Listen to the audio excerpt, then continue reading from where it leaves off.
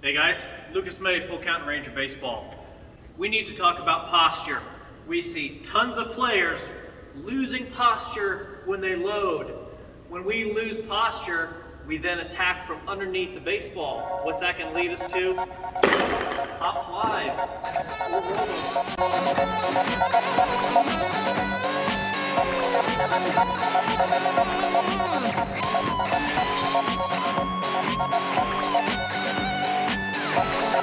So let's talk about why players lose their posture here. I think it's because it's kind of a defense mechanism. A lot of unexperienced players have a hard object coming at them, and it's kind of natural for the body to protect itself and get ready to hit like this, okay? As hitters that want to do damage, we've got to do the opposite and maintain our posture so we can do damage on the baseball with a good bat plane. A drill that we like to do is a little three pump and swing drill. Okay, so we'll just kind of pump our load three times. One, two, three.